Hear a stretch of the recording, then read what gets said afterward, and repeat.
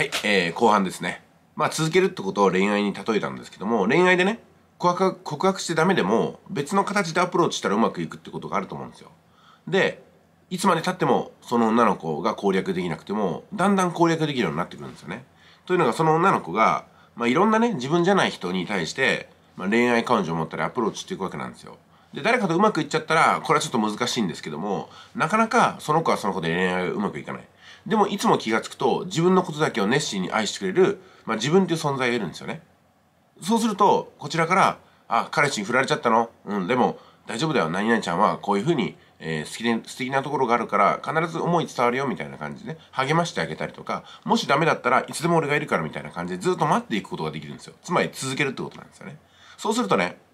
2年3年5年10年と経ってその女の子が自分の恋愛がなかなか見つからないってことになったらどうなりますかってことなんですよ。そうなんですよね。ずっと待っていてくれる本当に自分に対してしか思いをぶらさない人に帰ってくれるんですよね。つまりは自分のアプローチがうまくいくってことなんですよ。これがな極端な話なんですけどもこれビジネスにものすごく通じててですね。ある一定のビジネスをやってる時に最初はうまくいかないんですよ。でもだんだんどうやってアプローチしたらうまくいくのかってことが分かってきたりとか時代が来るんですよね。そのビジネスに適した時代がやってきてそれまでずっとその世界で頑張ってきた自分に風向きが向いた時にああなたはもうこの道で3年もやってたんですか？5年もやってたんですか？10年もやってたんですか？じゃあかなりの知識と専門性を持ってますよねってことでついに時代が来るわけですよ。例えばね昨今のあのロシア・ウクライナ情勢に関しまして軍事専門家と言われる人がよくねメディアやブログの記事に取り上げられるようになってアクセスを集めてるんですよ。でも通常軍事専門家の方なんてのはね全然自分で研究するだけでほんと隅っこでね追いやられてるんですよ。でも今いろんな番組とかにえ軍事軍事専門家のなんとかさんです。どうもよろしくお願いします。よろしくお願いします。みたいな感じでやっと自分の出番が来たかって感じで喋ってるんですよ。おかげさまで感染症専門の方はテレビのね枠からどんどん追いやられてるでしょ。あれほど脚光を浴びていた、まあ、岡田春江さんみたいなね。なんか新型コロナウイルスに詳しいとされてる方はテレビがずっと動かなかったのにもう今呼ばれないですよ。今軍事専門家の方に入れ替わってるわけですよね。つまり軍事専門家の方はいつか俺の時代が来るはずだと。いつかどこかで戦争が起きるはずだっていうふうにワクワクはしてないと思いますけどもやっぱそういう意味でね自分がいないともしかしたらそういった知識が必要な時に誰もいなかったら困るから俺は自分の研究ずっとするぜみたいな感じでやってたわけですよね。まあ、そしてそこにまああの、まあ、あんまりいいことじゃないですけどもねこうやった動乱が起きてきてそれに対していろんな見解やコメントを求められるみたいな仕事も来てそれによってメディアも成り立つしメディアから発信した情報によって私たち国民もいろんなことを知って考えることができるってことになりますよね。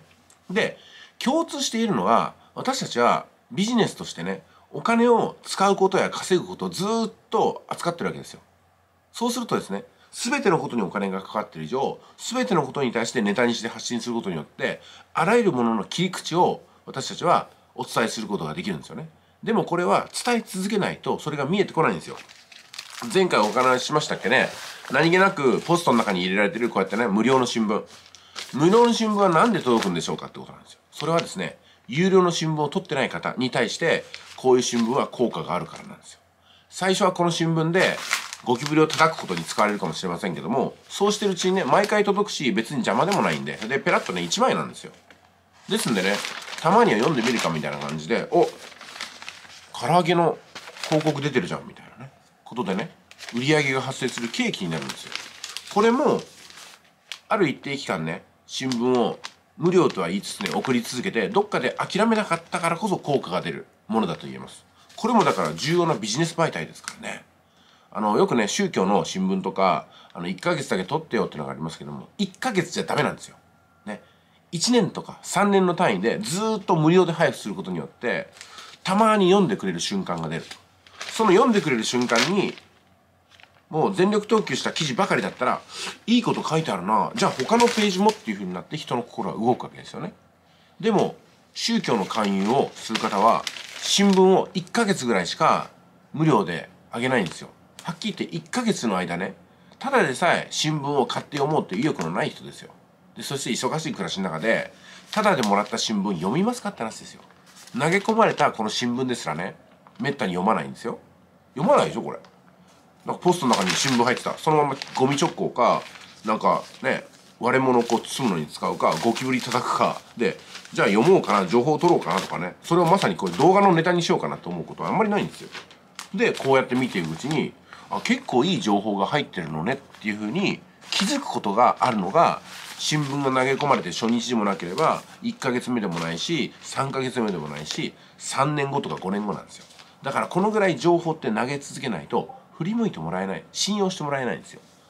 ちょっと無視したらすぐに届かなくなっちゃったみたいなね。そんな感じで思われるんでもうね見てよと見ていまいと関係ないと。これは自分のミッションとして送り続けるんだ。なぜなら私たちが発行する情報媒体は無料だからですよ。メールマガジンにしても LINE アットにしても YouTube にしても無料でしょ。コストかかんないんですよ。こういった物体の新聞は作るのにも配るのにも金がかかるんですよ。しまいにはこれ回収するにも金がかかりますからね。ゴミとして処分するのに。だからこれは続かないんですよ。だから宗教関係の方ね。政教新聞ですよ。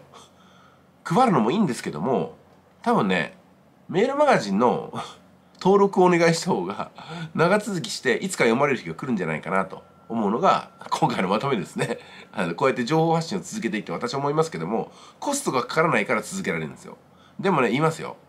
コストがかかんないのにほとんどの人は続けないんですよ。何やってるんですかと